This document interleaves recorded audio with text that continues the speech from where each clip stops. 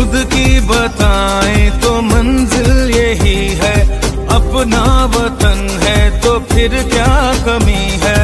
परचम उठाए हुए हम खड़े हैं, के प्यारा वतन से तो कुछ भी नहीं है।